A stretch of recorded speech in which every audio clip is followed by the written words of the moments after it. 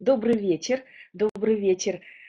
Ой, добрый вечер, Надежда. Рада, что снова мы сегодня встретились, тем более, что вот такого плана вебинары, такого плана встречи, они очень душевные они очень приятные. И помимо того, что есть очень много интересной практической информации, потому что я не люблю давать что-то такое, что отделено от человека, от э, психолога, от нашего клиента. Всегда очень важно получить практическую пользу от того, э, что вы берете себе на вооружение в свою профессиональную копилочку. Ну и плюс, как я вам уже сказала, пожалуйста, Включайте в свои консультации притчи и сказки. Это невероятным образом украсит их. Это сделает очень их приятными, эффективными и запоминающимися в глазах клиента.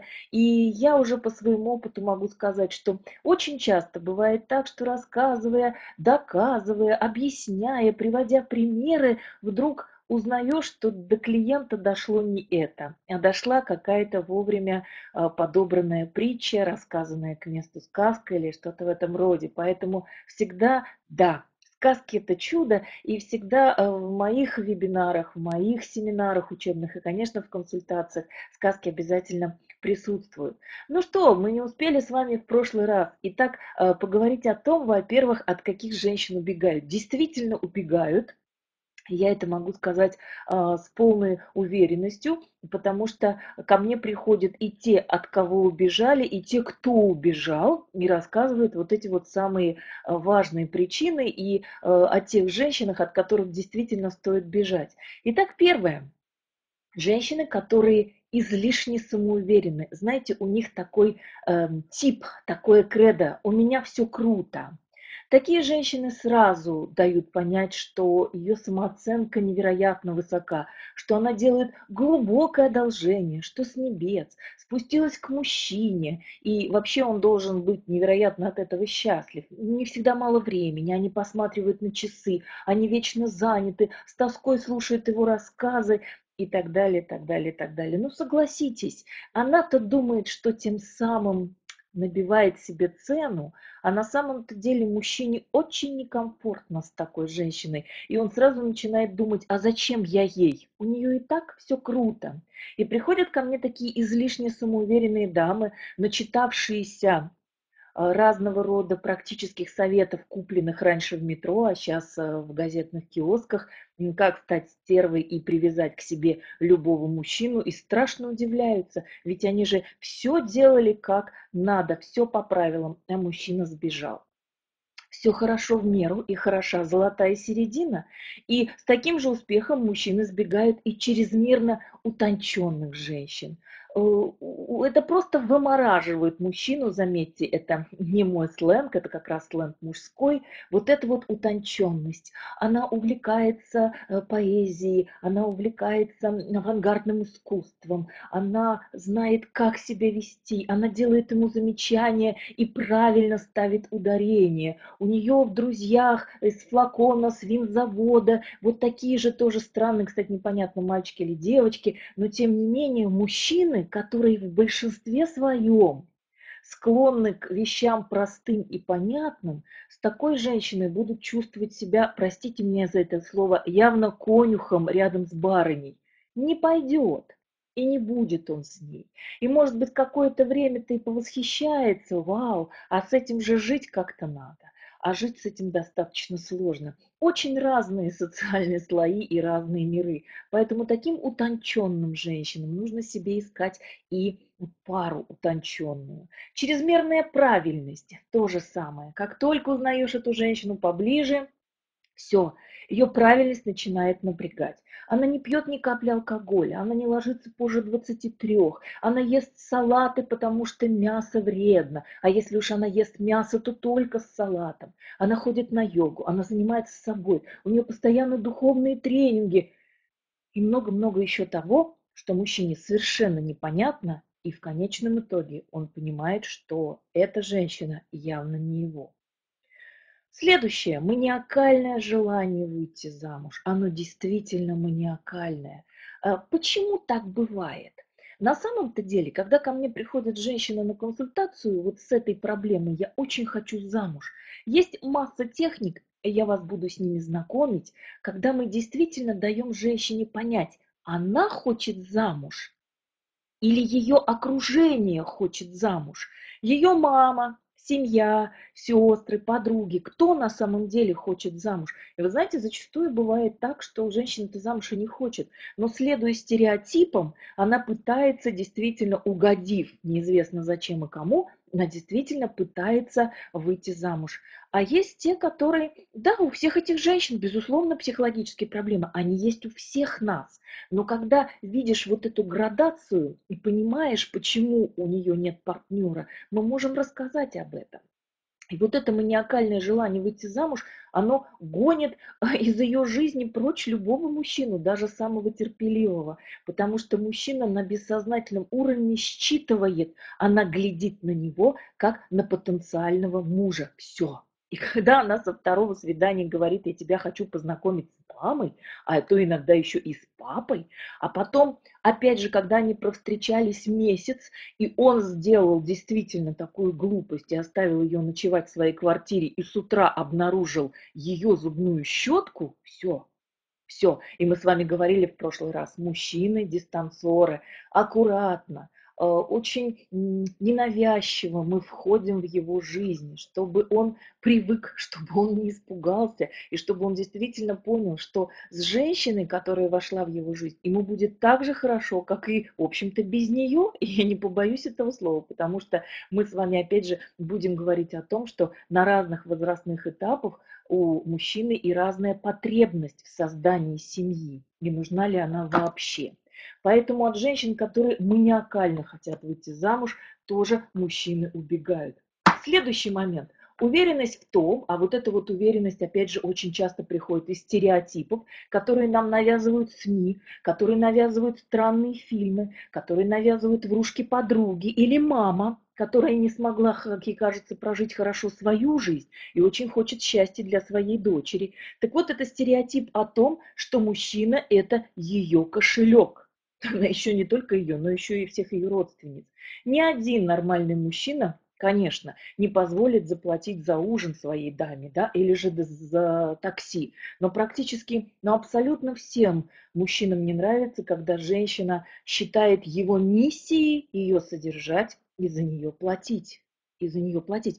И очень много, и очень часто бывает так, что Женщина, решив, что таким образом она якобы проверяет мужчину на щедрость, сразу начинает рассказывать ему о больной маме, которой нужны деньги, о том, что она не может ему позвонить, ибо у нее потерялся или украли айфон и так далее, так далее, так далее. Поэтому для мужчины это сигнал. Она ищет не его, не мужчину, она ищет спонсора и ищет еще один кошелек. Бегут бегут. Если только он не заметил в этой самой женщине тоже какую-то выгоду для себя, но это уже второй вопрос, и с этим мы тоже будем говорить. Когда женщина, еще один тип, становится для мужчины мамочкой, у нее огромное желание окружить его действительно тотальным вниманием и заботой.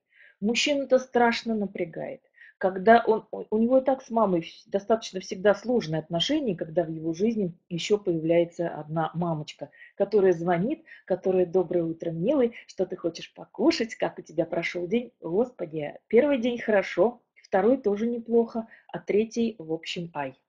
И когда она постоянно рядом с ним, она названивает, она его лайкает в соцсетях, она э, приносит домой мягкие игрушки к нему, чтобы окружить его тем же самым, то, в общем, в принципе, бегут.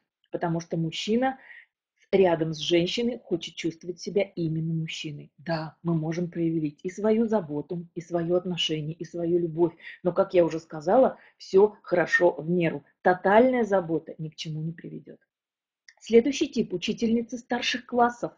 Это такая Ой, женщина, которая видно сразу даже по манере одеваться. Строгий деловой костюм, все у нас такое офисное, ни в коем случае никакой сексуальности. Она ходячая энциклопедия, она знает абсолютно все, у нее на все есть свое мнение. Она не понимает самое простое, что мужчину надо научиться слушать.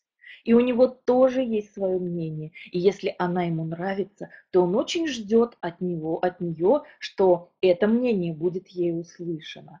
У нее э, куча знаний по тому, как прибить гвоздь и э, по какие-то глубокие познания в механике, в точных науках. Она отлично разбирает в бизнесе, в политике. Но такая женщина может стать другом, наверное, да но вряд ли это станет любимой женщиной, опять же, если только она не найдет, что называется, ну, себе пару, мужчину, который будет очень не это ценить, но в моей честно говоря, практике учительницы старших классов чаще всего остаются одинокими. А чрезмерная помешанность на своем внешнем виде, о да, о да, это женщина, которая всю свою жизнь посвящает служению своему телу. День делится на две части. До салона, после салона. Что мы получаем на выходе? Идеальная кожа, отличное тело и полную пустоту внутри. Она настолько увлеклась наведением внешней красоты, что совершенно не наполнила свой внутренний сосуд. Для того, чтобы ее вывести в свет, в свет и похвастаться перед друзьями и партнерами, сгодится. Но для длительных отношений, увы, такой женщины, конечно, недостаточно. Еще один тип – убежденная карьеристка. Здесь все понятно. С такой женщиной отлично можно обсудить вопросы бизнеса, политики и российской экономики, цены на нефть, курсы валют. Но через какое-то время мужчина понимает, кроме карьеры у нее нет ничего важнее. Она постоянно занята, у нее мужской тип вот именно построение своей карьеры у нее мало времени, у нее на первом месте, конечно, не семья, конечно, не дети, конечно, не муж и, конечно, не дом, а именно вот построение ее карьеры, поэтому мужчина, в общем, тоже вряд ли с такой женщиной будет связывать а, свою жизнь надолго. Ну и женщина-моль, Здесь все понятно, да? Женщина бесцветная, бесшумная, безликая. Вроде бы все хорошо, и воспитанная, и милая, и домашняя, и семья хорошая. А чего-то мне не хватает. Огня в ней не хватает, понимаете? Живости, искорки в ней не хватает. Не должна быть женщина тенью мужчины, ни в коем случае. И с такой женщиной молью э, мужчина в конечном итоге, он, он становится молью сам он вдруг начинает понимать, что он быстро очень старится, что мир становится серее в своих красках, и вроде бы, ну все неплохо, и жизнь спокойная, а скучно. Женщина-моль тоже достаточно быстро улетает из жизни мужчины. Но вот такие самые популярные, пожалуй, типы женщин, от которых действительно мужчины уходят, хотя я не перестаю всегда говорить о том, что Никто еще до конца не изучил, почему люди любят друг друга и почему и куда уходит любовь. Еще когда-то об этом писал мудрый царь Соломон. Поэтому мы можем с вами видеть какие-то явные ошибки в поведении женщины и каким-то образом ей об этом говорить, подстраховывать. Но опять же, жить-то за нее мы не сможем. Можем просто рассказать. А в конечном итоге все равно свой путь, своего мужчину, свое поведение, конечно, будет выбирать она. И, безусловно, каждый из нас в любом возрасте, сколько бы нам ни было лет, все равно хотим быть красивыми. А, мы тратим кучу денег на свой внешний вид, на одежду, на то, чтобы быть привлекательными, на то, чтобы нравиться мужчинам. Это абсолютно нормально. Но опять же, не могу не сказать, что все хорошо в меру. Мужчина живет очень маленькое время с той самой красотой, которую нам пытаются навязать средства массовой информации. На самом деле мужчина живет своим состоянием, которое он чувствует, находясь рядом со своей женщиной. И если ему комфортно, если ему приятно, если ему интересно и не напряжно, то она действительно кажется ему красивой женщиной. И именно поэтому так часто мы можем увидеть вполне себе счастливые благополучные пары, где, например, мужчина может быть абсолютным писаным красавцем, а женщина вот, ну как бы вот, и тем не менее живут очень-очень хорошо. И масса красавиц, которые очень и очень одиноки, и которые и такой сначала э, делают в своей жизни тип, если мы возьмем из сказкотерапии, разборчивой невесты, когда нам все не годится. И зарплатка-то у него не та, и выглядит-то он не особо. И вот так перебирают красавицы, перебирают лет до 40, а потом оказывается, что ой-ой-ой, Поэтому мы всегда помним о том, что да, внешний вид это важно, но если мы умеем создать и для себя, и для своего супруга комфортную атмосферу для жизни, то, конечно, такая семья очень и очень имеет все шансы прожить долгую и счастливую жизнь. Могут ли мужчины поменять предпочтения?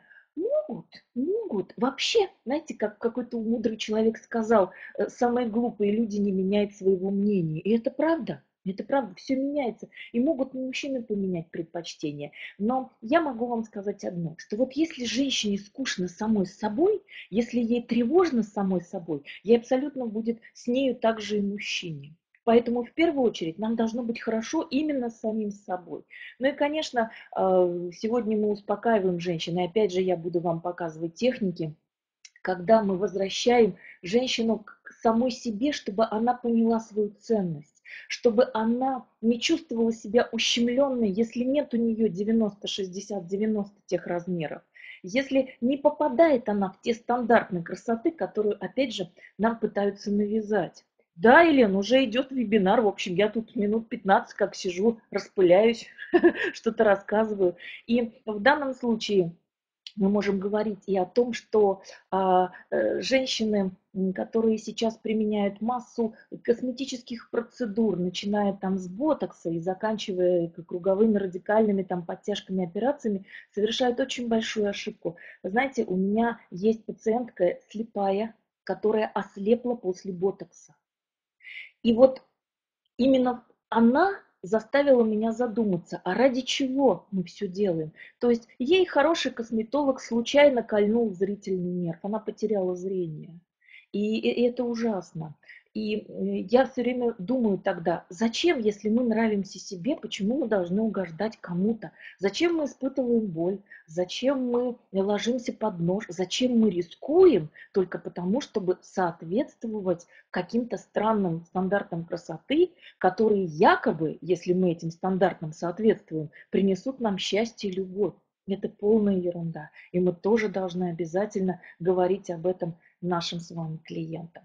Ну и потихонечку, так как я уже вот есть такая замечательная притча «Четыре жены». Я думаю, что вы эту притчу все очень хорошо знаете. Мне не хотелось бы сейчас э, терять время, но суть этой притчи следующая, что у каждого из нас, ну называйте как хотите, там четыре жены, четыре мужа, у нас все это есть, да? Это что такое? Это наш ум, это наше тело, это наша там интуиция или что-то еще. Но в конечном итоге ничего нельзя взять с собой тогда, когда закончится наша земля земная жизнь. С собой мы берем только свою душу. И вот об этом мы должны в первую очередь думать и говорить.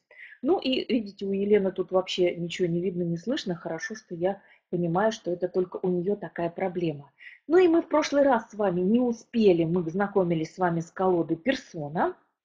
А, не успели две техники, я вам сейчас о них расскажу. Техники очень интересные и, опять же, очень простые. Значит, из персоны мы предлагаем в открытую. Когда к нам пришла женщина, мы эту технику используем в каких случаях? Пришла к нам женщина, которая никак не может разобраться, вот все, она такая перфекционистка, ей хочется быть и хорошей мамой, ей хочется быть и хорошим работником, и хорошей женщиной. И вот везде она как-то чувствует, что что-то ей где-то чего-то не нравится. И мы попробуем ей подсказать, давай посмотрим, достань, как ты себя чувствуешь вообще, как женщина. А как ты себя чувствуешь, как любовница? Не имеем права осуждать. Но если она любовница, ну да, значит она любовница. И достань, как ты себя чувствуешь, как жена. И вот когда женщина достает, причем осознанно, да, в открытую, достает все эти карты, то ей значительно легче понять себя. А вообще, зачем ты живешь? а э, почему вдруг у тебя есть, например, любовник, насколько он тебе нужен. И вот смотрите, э, мне вот это вот то же самое было из реальной консультации, женщина достает себя, посмотрите, какая она. Она чистая, она нежная, она светлая, видите, первая карта, да, она такая вот рыженькая и очень юная. И здесь она э, говорит мне, что я вот на самом-то деле, я действительно воспитывалась в очень достойной, хорошей семье, но, к сожалению, муж настолько пренебрегает мной, и я так сильно стала чувствовать э, вот, вот это вот пренебрежение и свою женскую непривлекательность, что именно поэтому я стала любовницей, а жена вообще ни о чем, да, вот посмотрите на эту жену. И вот когда она любовница, я говорю, а какая вы любовница, посмотрите, Она говорит, а я работаю медсестрой, видите, халатик у нее такой, я любовница главврача. Э, и вот я достала вот эту придурка, придурковатую, так и сказала, улыбающуюся. Я, говорит, так устала, потому что мне все время надо держать лицо. Он все время меня в любых моментах уточняю, да, в любых моментах, спрашивает, хорошо тебе, весело? И я, говорит, все время должна, опять же, пардон, в любых моментах улыбаться и говорить, о, да, мне прекрасно, мне здорово. И я, говорит, просто чувствую себя то ли актрисой, то ли клоуном в цирке. Ну и вот она жена, совершенно сумасшедшая. Она говорит, вы понимаете, во-первых, я устаю на работе, потому что выполняю уже две функции, да, как вы понимаете, и работника, и, соответственно, а, любовницы. Во-вторых, мне все время, у меня страшный спорщик муж. Мне все время приходится спорить и отстаивать какие-то свои позиции. Ну, то есть, когда мы посмотрели на все это, говорила она действительно достаточно много-много вспоминала, то, в общем, мы вдруг поняли, что самое лучшее ее состояние – это вот, это персона, это персона. Мы еще с вами в прошлый раз не доделали с персоной, поэтому я вам показываю. Достает по одной. Мы говорим, достаньте, пожалуйста, как вы себя ощущаете, как женщину. Достала в открытую, помним, да? А как любовницу? Достала. А как жену? Достала. Разложила и, соответственно, рассказывает. И вот после всего мы вдруг поняли, что посмотрите, как ей прекрасно просто быть женщиной, без вот этих вот. Давайте говорить откровенно, что муж, что любовник, это совсем не те люди, которые, в общем, украшают ее жизнь, даже в сравнении. Ну что, мы не можем э, сказать, давай бросай того и другого, правда? Но тем не менее, женщина сама, в общем, потихоньку до этого доходит. И так как мы потом в дальнейшем посмотрели много техник касательно выбора, можно образ женщины, можно, можно путь к себе замечательная э, генезовская колода, можно анима и израильская колода, любую. Но так как мы с вами начинали от простого к сложному, то вот я вам и рассказываю по персоне. И вот моя клиентка, мы с ней так хорошо поработали, посмотрели. Вы знаете, через какое-то время она действительно уехала. Она бросила этих двух странных мужчин, которые непонятно почему встретились в ее жизни. Она сменила профессию. В общем, сейчас у нее нет мужа, но у нее достаточно теплые и стабильные отношения. И что удивительно, она говорит, я раньше раньше так хотела замуж, и сейчас я замуж категорически не хочу, потому что меня очень и очень все устраивает. Бывает и так. Бывает и так. В группе можно, но кто вам в группе скажет, я вот такая любовница? Не каждая колонется, да, у меня есть любовник. Не, ну кто-то, конечно, похвастается, это понятно. Но, в принципе, в группе тоже можно, просто немножко запросы должны быть другие.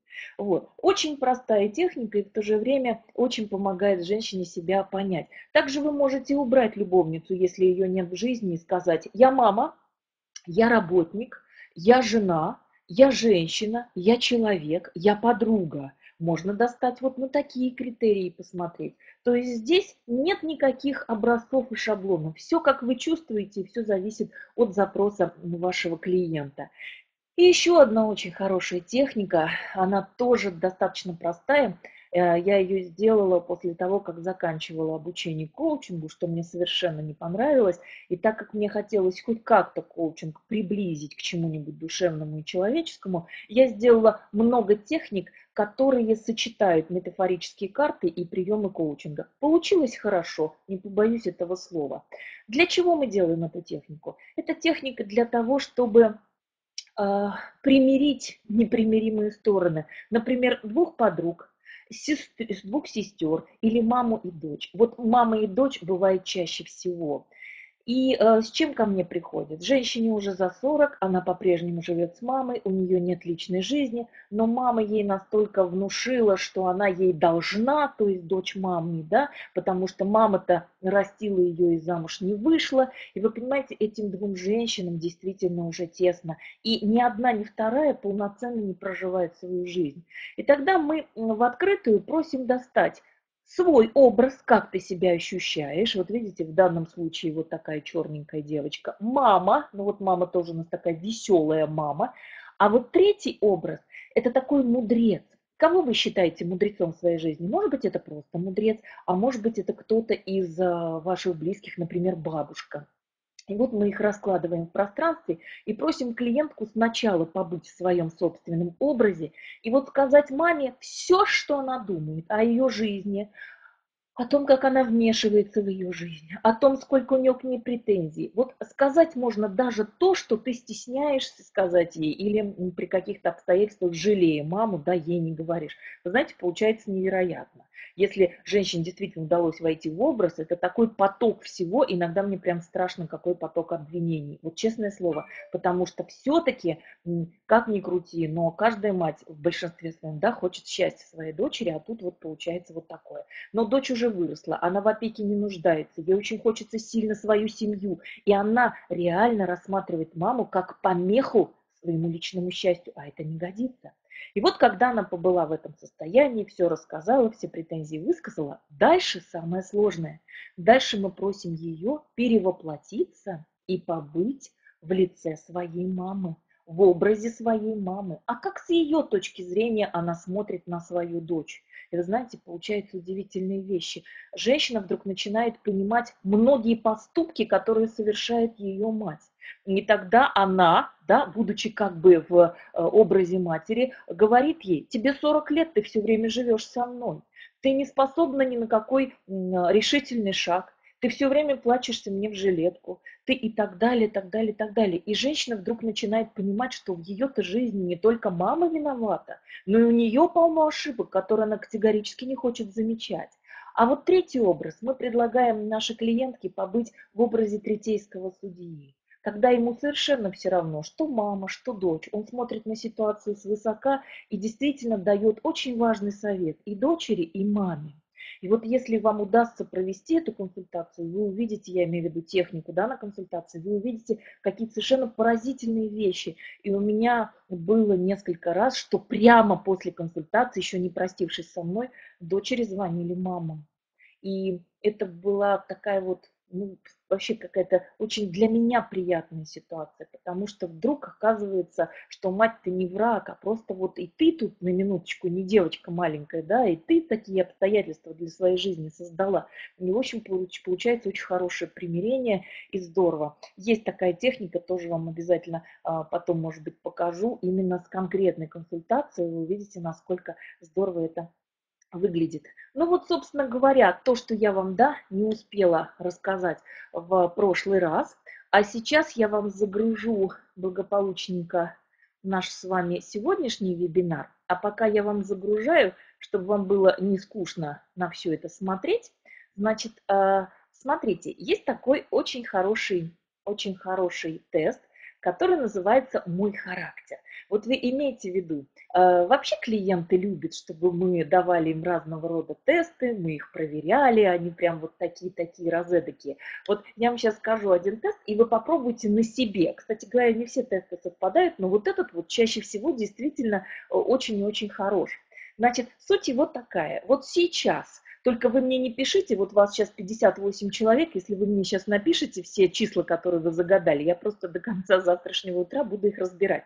Вы протестируете себя сами. Значит, пусть каждый из вас просто наугад напишет или э, представит любое число от 1 до 9. От 1 до 9 представили. И вот каждый, кто себе это число представил, я сейчас вам очень коротенько скажу – кто вы есть, кто вы есть на самом деле, а вы мне кажете, совпадает, скажете, совпадает или нет. Вы можете просто написать, а можете для себя отметить. Итак, кто число один э, загадал? Это люди, прирожденные лидеры, активные, амбициозные, они стараются всегда занять первые места, и это число победителей. Кстати, иногда бывает и тиранов. Число 2. Люди эти, как правило, мягкие, артистичные, обаятельные, легко приспосабливаются к обстоятельствам, но им иногда свойственна пассивность. Они больше склонны к размышлениям, нежели к действиям.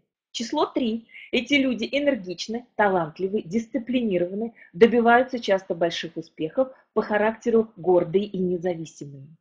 Число 4. Люди этого числа смотрят на вещи с особой точки зрения, что позволяет им находить скрытые детали. У них есть всегда свое мнение, и иногда они могут быть спорщиками. И, в общем-то, часто одиноки и не очень дружелюбны. Число 5. Люди этого числа крайне чувствительны. Обычно они по натуре живые, импульсивные, склонные к риску и ценят удовольствие, легко возбудимы и бывают подвержены нервным расстройствам. Как правило, в бизнесе очень хорошо преуспевают и от всяких неудач они застрахованы. Число 6. Гармоничны, взвешены, располагают к доверию, правда бывают слишком упрямы, романтичны, влюбчивы, их интересы в большинстве своем сосредоточены на доме. Ну и им присущ хороший вкус. А, а какие карты-то? Елена, мы про карты уже закончили, у нас тест, у нас тест. Так, число 7 – это символ удачи и оккультных знаний. Люди этого числа часто бывают мыслители и философы. Они буквально, буквально погружены в собственные мысли и немножко оторваны от окружающих. Число 8 этих людей отличает большая сила воли, индивидуальность, некоторая холодность и отстраненность, хотя на самом деле они способны на горячие чувства. И число 9 прирожденные борцы, активны, смелы, целеустремленные и, как правило, побеждают. Эти люди способны на самые нежные чувства по отношению к своим близким. Вот вы знаете, сколько я тестировала вот э, и клиентов, да, и иногда, когда время есть, и психологов на обучение, времени очень подходит. Вот первый тест у меня в жизни, который действительно, ну, почти, почти. Есть, конечно, исключения, понимаете, да? А вообще очень сильно подходит. Так что этот тест у вас тоже будет, естественно, в ваших... Елен, я уже поняла, все в открытую, все в открытую, предыдущей информации. Вот, так что этот тест у вас будет. А, ну что, поехали дальше. Итак, что мы должны знать о мужчинах? у каждого мужчины, равно как у каждой женщины, вот видите, с возрастом меняется поведение. И если мы об этом знаем, супер, значит мы и знаем, чего от них ждать. Итак, мужчины в возрасте от 18 до 24, рассвет сексуальности, женятся на той женщине, которая их больше всего возбуждает. Ему здесь важна техническая сторона в жизни. Ну, соответственно, как вы понимаете, и очень важно, что скажут приятели. Поэтому в таком возрасте для мужчины сексуальная сторона и, в общем, эта часть жизни весьма и весьма важна. Какой ключ к этому мужчине? Ну, какой ключ? Восхищение. Вот это самый главный ключ. Причем восхищение абсолютно всем, как вы понимаете, да? Если э, ваш муж подходит вот, вот под такой тип, и даже несмотря сколько бы ему ни было лет, в душе ему все равно 18, не удивляйтесь, если вдруг он будет заводить уже в таком возрасте постарше кучу любовниц потому что вот это вот такой тип. И вот иногда они его перерастают, собственно говоря, а иногда нет. Вот, поэтому главная задача женщины, если любит мужчину, ну это просто как-то пережить, по-другому никак.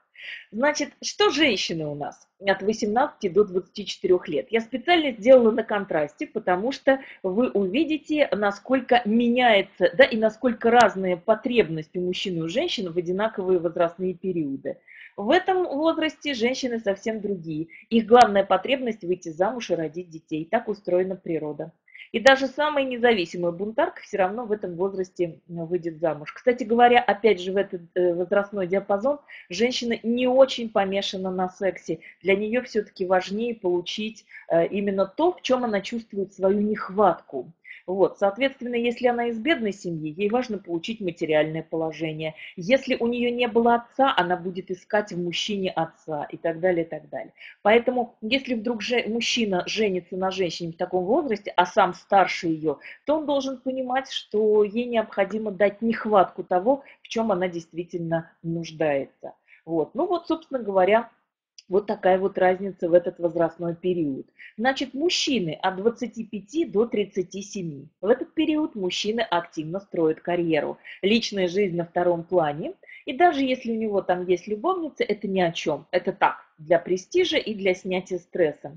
В семейной жизни все, им хочется спокойствия, упорядоченности, и очень важно в этот возрастной период женам не доставать по пустякам, оценить то, что мужчина делает для семьи, потому что это период добытчика, и ему очень важно, чтобы любимая женщина это видела, потому что его любовь проявляется таким образом. Заработал на новую мебель, он вам сказал «люблю», починил кран, люблю. Если женщина не понимает и не ценит, мужчина в этот период найдет легко другую женщину. Поэтому здесь важно увидеть вот эти качества в мужчине. Что же женщины от 25 до 37 лет? В это время женщине нужна конкретика. Что будет, когда будет и почему. По амбициям и темпераменту, вот тут как раз женщины в этом возрасте похожи на мужчин от 18 до 24.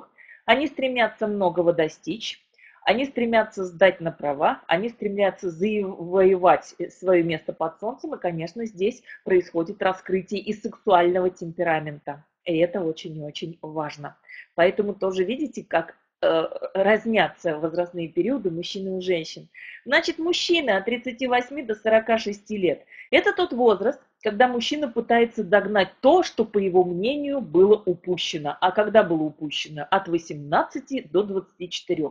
Конечно, это не значит, что ну, такие мужчины бросятся во все тяжкие, но все-таки от таких мужчин можно ожидать э, весьма многое. Поэтому женщине с таким мужчиной надо, вот если она чувствует, что он пытается что-то преуспеть, в чем не успел раньше, попытаться как-то это компенсировать. То есть восполнить ту нехватку, чего ему не хватает. Что же женщина от 38 до 46? А здесь они похожи на мужчин от 25 до 37. Помните, когда они строили карьеру, когда могли заводить любовников, в том случае, если вдруг никто не ценит их усилий. Вот в этом возрасте женщине очень важно, чтобы ее в семье ценили, ценили ее достижения, как в материальном плане, так и в чем-либо другом. Поэтому э, здесь для мужчины это, в общем-то, тоже такой сигнал, что если ваша женщина находится в таком возрастном периоде, э, это ее познание земного бытия, и нужно оценивать все, что она делает. И вот в этом есть и понимание, и ключ к ее любви. Ну что, дальше интереснее. Мужчины от 47 до 59. Мужчины в этом возрасте либо возвращаются на этап 18-24, если хватает здоровья, либо становятся настоящими зрелыми мужчинами, которые ценят нежность, жену, детей, семейный быт. И вы знаете, у меня есть немало пар, когда жене хватило мудрости пережить весь цитнот молодости мужа.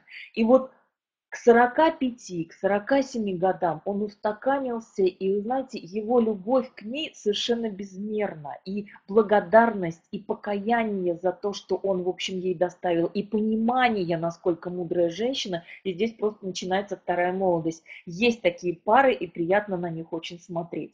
В этом случае, если действительно мужчина ценит семейный уют, он зрелый в этом отношении, мужчина переживает рассвет и наслаждается всеми гранями жизни. И после 60 лет этот этап продолжается. Поэтому э, при успешном развитии мужчина, конечно, в таком возрасте духовно созревает или же идет к этому. Будет большой ошибкой вспоминать ему грехи прошлого, если вы с ним остались жить, и тянуть этими воспоминаниями его назад. Что же происходит у женщины? Посмотрите, какая большая разница. А вот женщины в этот период, э, вообще они очень по-разному его переживают, и женщина начинает вдруг чувствовать, что красота на самом деле, конечно, уходит, появляются лишние морщины. Эм, в общем, что говорить, мы этот период переживаем значительно сложнее, чем мужчина. И вот в этом возрасте женщины очень склонны к крайностям. Иногда считает она, что жизнь прожита зря, все ей представляется в мрачном свете, она может плакать, подать депрессию, но не забудьте, да, тут же еще климактерические моменты приходят. Вот, она может быть недовольна собой, окружающими и так далее, и так далее. Эм, бывает так, что состояние депрессии чередуется с состоянием эйфории, вот, и вдруг у нее от ненависти до любви один шаг к мужу, и, в общем, и на эйфорию надо тоже реагировать спокойно, это такая отдача после депрессии. А, не, это не я жестко, не я жестко, мне 48. Я к тому, что часть женщин считает, что с 47 лет у нее уже началась старость, и что ей уже ждать и ловить нечего. Я об этом, да, какой, какие э, особенности у женщин бывают вот в разные временные рамки. То же самое, а бывают женщины, которые весьма и весьма в этот период активны, они достигли очень хорошего рассвета в карьере, они совершенно не чувствуют свой возраст, и здесь с ними действительно становится хорошо жить, потому что они уже многое поняли, плюсы-минусы заметили, к мужчине лишний раз не придираются и становятся вот такими достаточно мудрыми. Но, к сожалению, очень часто бывает так, что женщина вот в этот возрастной момент вдруг начинает чувствовать себя совершенно ну, понятно, да, непривлекательный и так далее. Работаем с этим, обязательно работаем, потому что вы знаете, что у нас есть и биологический возраст, и психологический возраст. И мне очень нравится, что сейчас доказано, что то, что нам придумали болячки, наш внешний вид и так далее к старости, это реальная кодировка населения. Очень многое зависит от генетики. И у нас с вами есть масса примеров, когда уже далеко за 80 мужчины, они зрелы, и они активны во всех отношениях. И мы видим 40-летних, отрастивших пузо, э, лежащих на диване с бутылкой пива, которые и уже состарились значительно. Да? И то же самое происходит с женщинами. Вот, поэтому вот этот период все-таки женщины переживают значительно тяжелее, чем мужчины, так как сильно зациклены на внешности, поэтому это оправдано. После 60 и мужчины, и женщины либо продолжают свое развитие, либо продолжают свою деградацию в полном смысле этого слова. Мужчина все больше впадает в депрессию, понимая, что он тоже старится, уже здоровье не то, он многое не успел.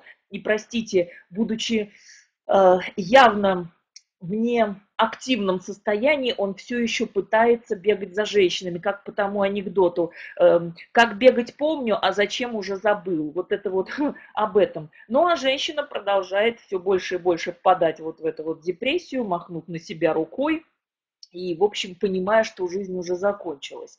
Вот. Здесь, конечно, очень важно внимательно следить, если ты любишь своего партнера, за такими вот тревожными сигнальчиками, которые могут говорить и о приближающейся деменции, и о том, что если у женщины там в 48, 49, 50, 55 начинаются э, депрессии, да, начинаются там какие-то истеричные моменты, за этим надо последить, потому что в дальнейшем они могут усилиться и перейти к достаточно тяжелой заболевания заболевания. Так что все это сейчас можно купировать и, и, и в общем, с этим как-то работать. Ну и что? То же самое с мужчинами. Поэтому, вот видите, здесь у нас на экране очень довольная счастливая пара. Но на самом деле никто, ни один психолог не поможет человеку, если он вдруг вот решил э, для себя, что вот он уже все, жизнь его кончилась. Да, мы с вами помогаем только тем, кто действительно хочет, чтобы мы им помогли. И у меня есть пары, где мы ну, скажем так, э, не сексуальные отношения оживляем, а мы все-таки оживляем отношения вот эти вот душевные, духовные, которые иногда, конечно, с возрастом пропадают, но если люди хотят быть вместе, если они идут к специалисту за этим, то, конечно, здорово. Конечно, мы с вами обязательно в этом помогаем. Вот такие вот возрастные градации – о которых все-таки мы должны с вами знать и нашим а, клиентам рассказывать, что все, в общем, зависит не от того, что скверный характер, а многое зависит и от того, в каком возрасте человек находится. Ну и, конечно, чего хотят женщины? Чего хотят мужчины, мы с вами прекрасно сейчас поняли, а женщины, в общем, тоже хотят, и об этом тоже нужно знать. И я всегда против того, что нам пытаются, опять же, навязать, мы должны делать все, чтобы удержать, а для нас делать ничего не надо. По мне так лучше одной – Лучше жить одной, если я чувствую, что мужчина, который рядом со мной, не делает меня счастливой. И я не понимаю вот эти вот, э, опять же, в угоду кому-то э, невероятные усилия, лишь бы быть замужем. Соответственно, обязательно, когда женщина только собирается замуж, мы говорим ей о том, что посмотри на своего мужчину, какой он. Если он пьет, он будет пить. Если он курит, чаще всего он будет курить. Если он груб, он будет еще хуже и так далее, и так далее. Не надо думать, что ты кого-то переделаешь. Никогда. И опять же, когда ты выходишь замуж, если ты плохая хозяйка, скажи об этом. В хозяйстве я не очень, зато я в чем-то другом мастерица. Тогда не будет фрустрации, тогда не будет того, что «А, говорила мне мама, что ты такой. А при чем тут мама? Ты сама все видела. Но это опять же, вот кто-то виноват, кроме меня. Так чего же хотят женщины? Все-таки в большинстве своем мы хотим, чтобы мужчина нас слушал. Ну, хотя бы иногда, хотя бы какое-то время э, слушал нас не как призыв к какому-то немедленному действию, а просто послушал по-человечески. И здесь я всегда привожу в пример очень смешную историю, когда подруга э, сказала своему мужу, что, простите за попу, ее схватил начальник. Он говорит, сейчас пойду и убью. Она говорит, господи, какой ты дурак. После этого позвонила своей подруге, она сказала, слушай, ну какой ужас, надо же, у меня тоже такое было. И женщина совершенно удовлетворенная подумала, вот какой мой дурак и какая умная подруга. То есть мы не призываем, чтобы кто-то сразу бежал э, и делал какие-то действия, но чтобы послушали женщину, конечно, это важно. Женщине хотя бы иногда все-таки нужно говорить о женской привлекательности. Опять же, мы с вами говорили о том, что лучше один раз сделать, чем объясниться в любви на пустом месте. Но какие-то вещи, чтобы женщина чувствовала, что она у мужчины любимая, конечно, надо говорить. И вот в этом смысле есть личный жаргон, лексикон, да, только не надо при всех говорить «здравствуй, пупсик» или муж такой же, да, там при сотрудниках что-нибудь говорить своей жене. Но какие-то кодовые словечки, которые понятны только вам, безусловно, надо иметь. Они якори, они якори, которые каждый раз напоминают, что э, ты любимый, ты любишь. Что еще нужно? А, обязательно мы говорим о том, что э, женщине действительно нужно доказывать, что ее любят. Э, не только словами, но и делами, но здесь все хорошо в меру, там прыгнуть с Эйфелевой башни, это, конечно, не доказательство, а дурость. Ну, как мы уже говорили, поскольку женщина все-таки преследователь, то для нас очень важно, чтобы с нами не, развив... не разрушали или, вернее, не разрывали контакты вот так, без предупреждения. Я всегда говорю своим клиенткам, если он не звонит, он не потерял ваш телефон. Он не забыл его, он не потерял память и не попал в автомобильную катастрофу. Он просто не хочет вам звонить. Ну, мы ж надеемся. И я говорю, что ваш мужчина просто трус, что он не может объяснить вам об этом. Поэтому все-таки для женщины важно, если уже вы решили закончить отношения, ей надо об этом сказать, не боясь скандалов или чего-то другого. Конечно, женщине нужна уверенность в завтрашнем дне. Мужчина, который все время ищет себя, которого не ценит ни на одной работе, э, который не может строить общие планы на будущее, который не демонстрирует заботу о тебе и о твоих детях, это, в общем, не тот мужчина, с которым можно связывать жизнь. Вот у меня сегодня была клиентка, она рассталась с мужчиной, потому что он курил травку. Он был всем хорош, у него были деньги, он не впадал в какое-то безумное состояние, но он курил травку. И она сказала, как бы я его не любила, человек, который курит травку, для меня ненадежен. Я согласна. Я согласна на сто процентов.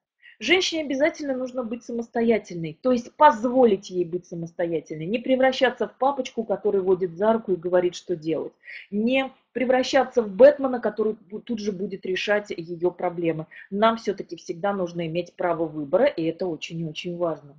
И все-таки женщине э, нужно позволять иногда быть слабой. Для меня, например, важно не э, как, как мужчина рядом со мной себя ведет, поможет ли он мне одеться, поддержит ли он мне дверь, подаст ли он мне руку. Я должна чувствовать, что женщина, неважно, в браке ты, не в браке, сколько лет вы вместе, но это очень и очень важно. Вот этот вот момент, когда ты можешь довериться мужчине даже в таком, это очень и очень важно. Ну и вы, наверное, хорошо знаете вот эту вот замечательную притчу, которая называется «10 коров». Вот, я ее э, достаточно часто рассказываю, и на самом деле она очень красивая, когда два друга решили отправиться в плавание, чтобы найти себе жен. И вот когда ветер пригнал их судно к острову, то они увидели, что у вождя племени было там две дочери. Старшая была писаная красавица, ну а младшая, в общем, была так, в сравнении с ней не шла. И один из друзей сказал, я больше никуда не поплыву, я останусь здесь, и я нашел свое счастье, я женюсь на дочери вождя. А второй друг сказал, о да, ты сделал отличный выбор, ведь старшая так хороша собой, надеюсь, ты с ней будешь счастлив. Но товарищ возразил и сказал, да нет, я хочу жениться на младшей. А друг очень удивился, но ведь младшая это ни о чем, она ни в сравнении ни в какой не подойдет. Это мой выбор, сказал его друг и остался на острове. В поисках своего счастья второй поплыл дальше, а его товарищ пошел свататься к вождю. И в этом племени было принято отцу невесты за девушку давать выкуп. За хорошую невесту давали аж 10 коров. И тогда юноша пригнал вождю 10 коров и сказал, я прошу у тебя руки твоей дочери. Согласен, ответил вождь, моя старшая дочь стоит 10 коров. Ты меня не понял, ответил юноша, я прошу руки твоей младшей дочери. Теперь пришлось удивляться а, отцу девушек. Но ведь Старшая намного лучше. Если ты хочешь жениться на младшей, я возьму только четыре коровы, она не стоит больше. Но юноша настоял, чтобы выкуп за девушку был именно 10 коров. Прошло несколько лет, и друг решил навестить того, кто остался на острове и женился на младшей дочери. И когда его корабль подплыл к острову, Первая, кого он встретил на берегу, была прекрасная женщина небывалой красоты. Он спросил ее, как найти друга, и женщина указала ему дорогу. Друг очень обрадовался, увидев своего старшего товарища, стал показывать дом своих детей, к тому времени их было четверо. «Ну ты счастлив?» – спросил его товарищ. «Очень», – ответил друг. И в этот момент в хижину вошла та самая прекрасная женщина, которую товарищ встретил на берегу. «Знакомься, это моя жена». Ты, видимо, женился еще раз? Нет, это все та же самая женщина. Товарищ присмотрелся и действительно узнал красавицу ту невзрачную девушку, которую видел много лет назад. Он подошел и спросил, прости за бестактность, но как ты стала такой прекрасной, что тебя изменило? И она ответила, в один прекрасный день я поняла, что действительно стою 10 коров. И у меня не было никакого выбора, как снова стать красавицей. Ну, то есть, вот такие, да, очень красивые есть притчи и сказки, и на самом деле, конечно, так и есть, так и есть. Так, молодожены спускается с трапа самолета. Дорогой, давай представим, что мы женаты давным, давным-давно. Давай, тогда неси свой чемодан сама, да, Татьяна? На самом деле это так и есть. Это так и есть. Но, как я вам уже сказала, при всем при том, что э, мы с вами что-то должны делать для своего мужчины в своей семье, совершенно верно, так и мужчина обязан делать для нас. То есть это игра в двух воротах, это не игра одного партнера и так далее.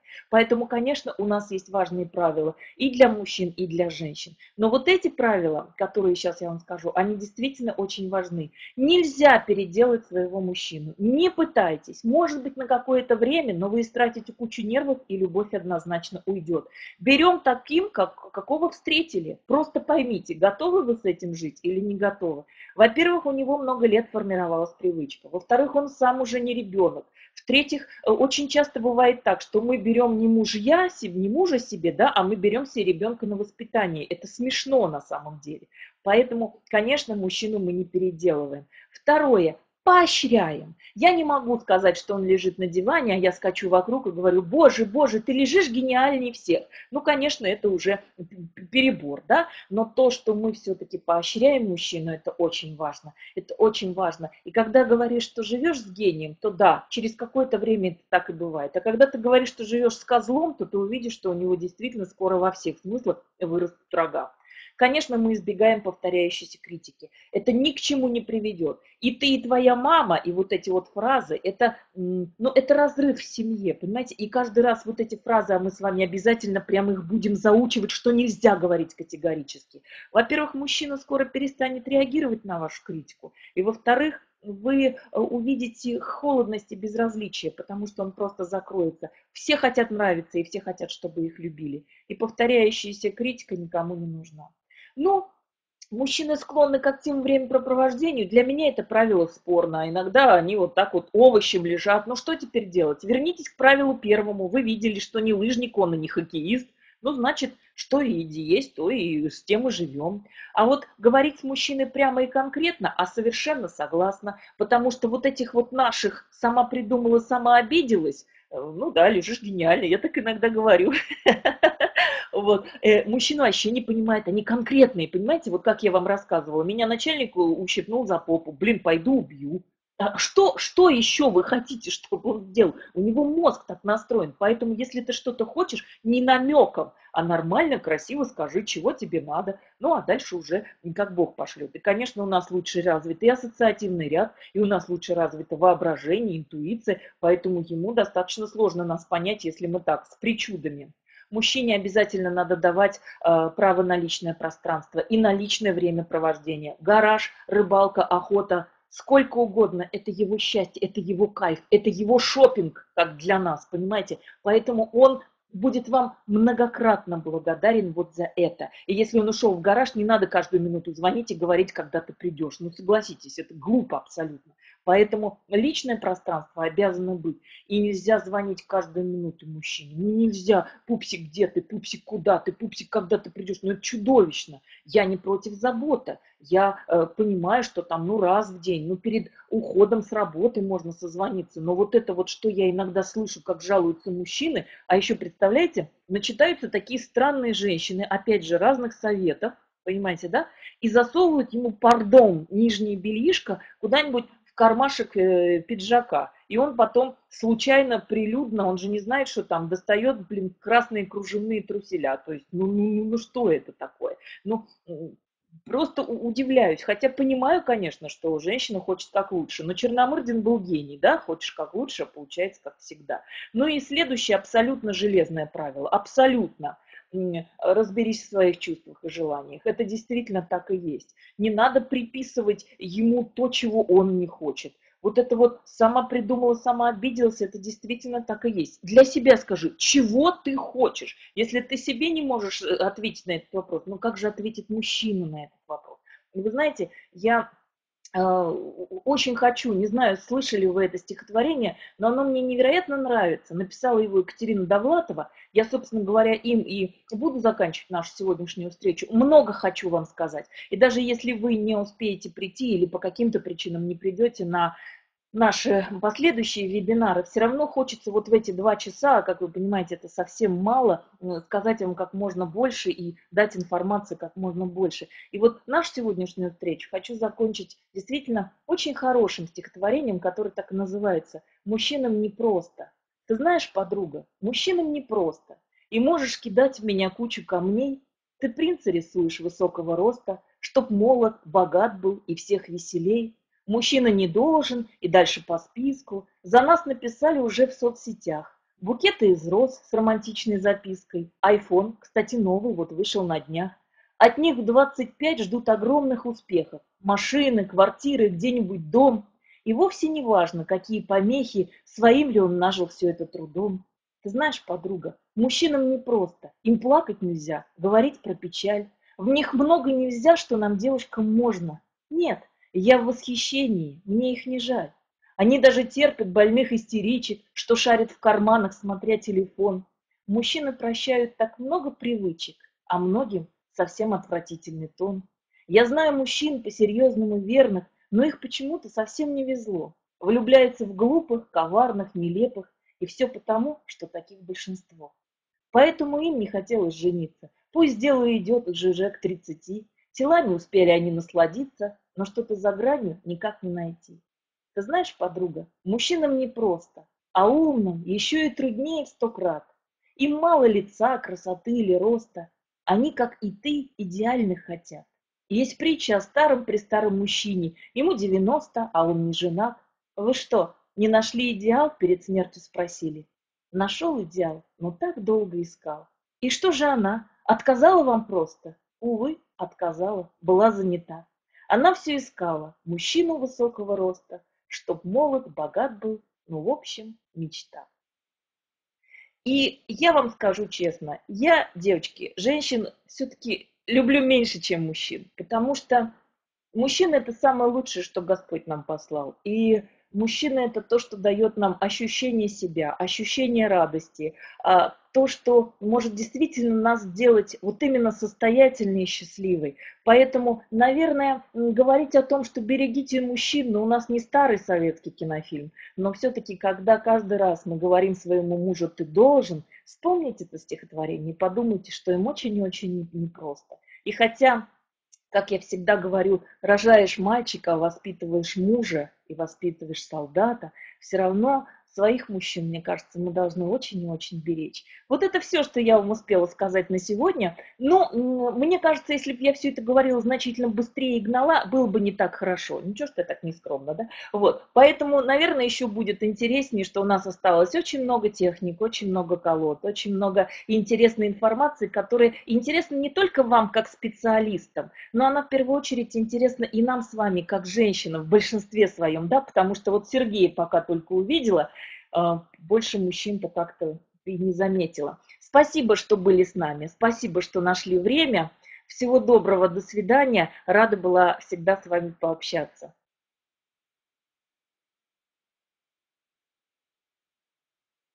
Спасибо огромное, Виктория Анатольевна. И сейчас мы расскажем, как дальше приходить на вебинары. А, так, так, так, остаемся. И э, кто у нас э, на курсе, вот дальше, я думаю, что и техники САГА, да, тоже расскажете. Вот, э, обязательно. Поэтому включайтесь на следующий вебинар, сейчас я расскажу подробнее. Онлайн-курс состоится 20, 21, 27, 28 февраля с 20 до 22 а, по Москве. Будет, э, после обучения будет сертификат участника вебинаров. Третий вебинар будет презентация основных колод для консультирования партнеров. И ох, и танду, и субличности, дуэт, анима, протида. Это все колоды, с которыми вы познакомитесь, и Виктория Анатольевна расскажет тоже ну, что, что, что для чего они нужны, да, и что с ними можно делать. Четвертый вебинар «Законы отношений», там тоже про, про любовь, и тоже есть, будут техники для работы в э, партнерском консультировании. Пятый вебинар про развод, конец или начало, тоже основные причины разводов, э, техники про измены, также будет э, информация, техники будут 7 стадий развода, а, развод и дети, правила позитивного развода. И шестой вебинар подведение итогов, тоже будет, будут дополнительные техники, ответы на вопросы, то есть очень интересный вебинар, у нас собирается замечательная группа, а, и включайтесь тоже. Как раз сегодня еще есть акция, сертификат тоже будет после обучения. А, стоимость первого пакета, это участие во всех вебинарах, 7 тысяч рублей, 3 а, 200 гривен, да, кто из Украины для, вот тоже для вас удобнее. А, пакет Б, участие во всех вебинарах и сертификат участника 9 из 4 тысячи гривен, и пакет С 12 и 5 450. Но акция действует до 15 февраля, то есть кто у нас успел уже в группе а, есть, да, и кто сегодня подаст заявку, и вы можете оплатить сегодня или завтра, да, то у вас тоже останется эта акция. Главное вот сейчас пройти через э, по этой ссылочке, выбрать для себя пакет, который вам подходит, также те, кто оформляли заявки, тоже вы можете э, ну, написать, и мы вам либо пришлем, либо кто в рассрочку хотел, а, тоже можно сделать в рассрочку. Первый пакет А, переходите по этой ссылочке, да, которую я вам сейчас прислала в чате.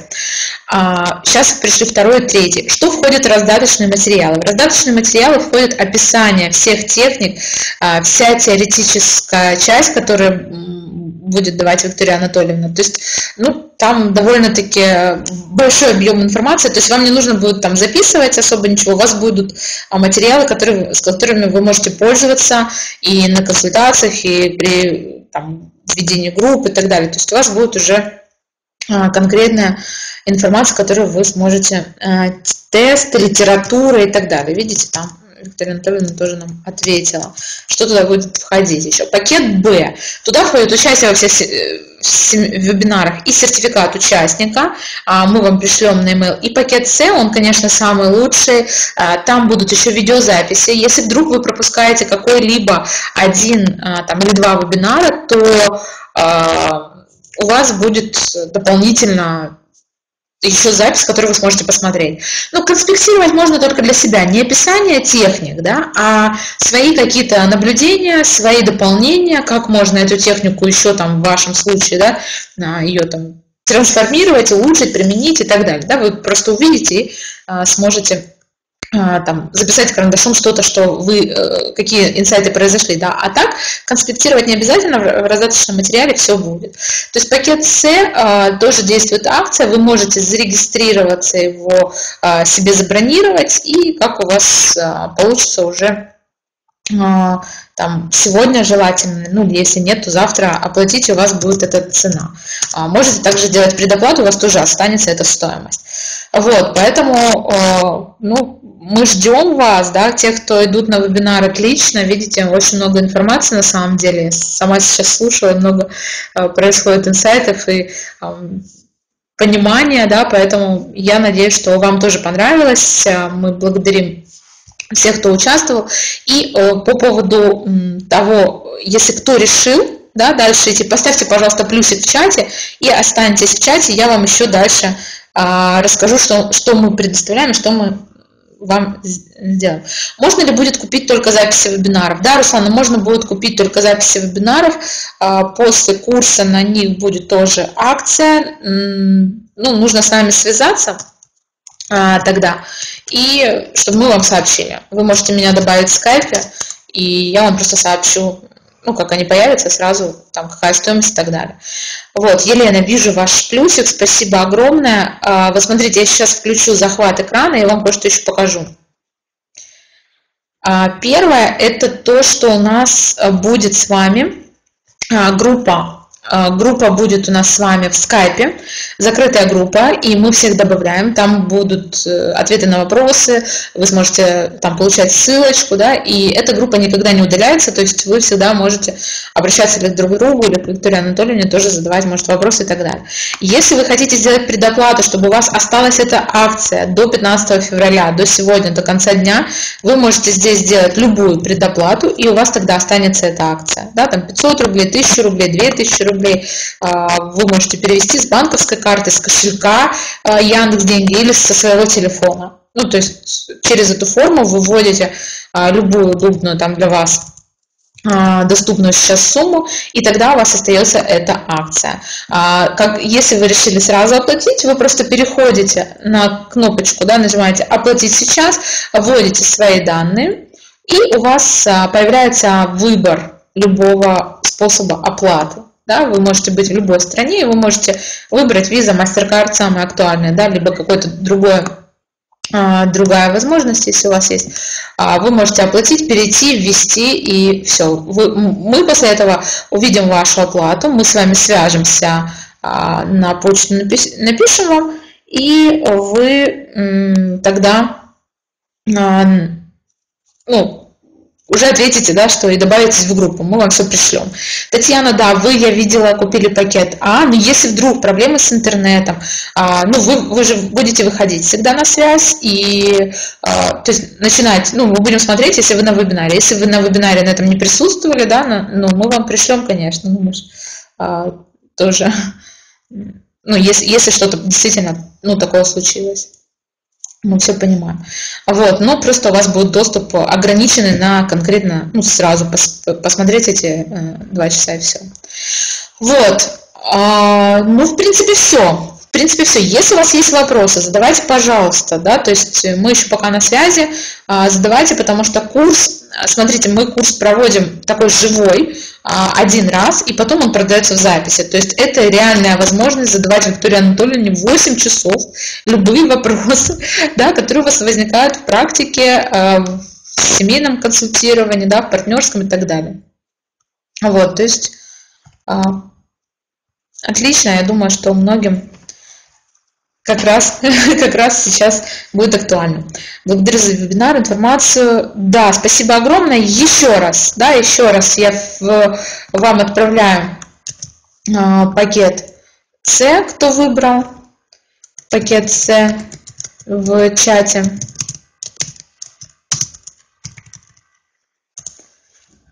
Первый, второй пакет Б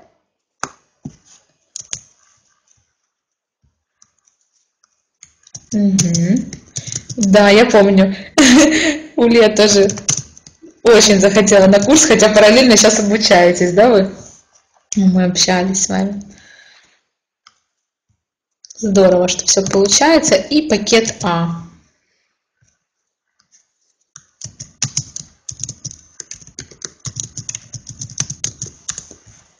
Вот. Поэтому Включайтесь, регистрируйтесь, э, все будет э, хорошо. Да, причем в двух направлениях, пишет Уля, голова крупная, ну ничего. Значит так. Хорошо, по программе, если есть еще вопросы, можете посмотреть, почитать, задавать. Вот, по следующим, вообще у нас есть очень много курсов с Викторией Голобородовой, которую провела, и а, МАК в, в консультировании а, при онкозаболеваниях, и знакомство с, с миром МАК, там 8 часов практики, 50 техник в работе психолога, тоже уже можете купить готовую запись, да, вот по этой ссылочке переходите. И сказкотерапия есть, и маг в работе с паническими атаками. Ну, то есть материал, ну, я считаю, наилучший сейчас, который можно при работе с Mac найти и пользоваться. Mac и коучинг есть. Ну, то есть выбирайте. Вот. А после курса где купить? А после курса где купить карты? Елена, вы тоже ну, можете написать нам, смотря где вы находитесь. И если что, вы можете заказать в своем городе. Ну, либо мы вам что-то посоветуем. Вот, смотря где вы. Чтобы доставку организовать. Нам можно сделать доставку. Спешитесь со мной, я сейчас вам дам еще, кстати, кому необходимо, ссылочку свою ВКонтакте и в Фейсбуке. Вы меня добавите, если вопросы у вас по обучению, по картам возникают, всегда пишите, я на связи, с удовольствием отвечу и вам помогу, если что-то нужно. Хорошо? Тогда всего доброго, добрых снов, у кого уже вечер и ночь. До свидания, до встречи 20 числа, будем очень рады и ждем вас.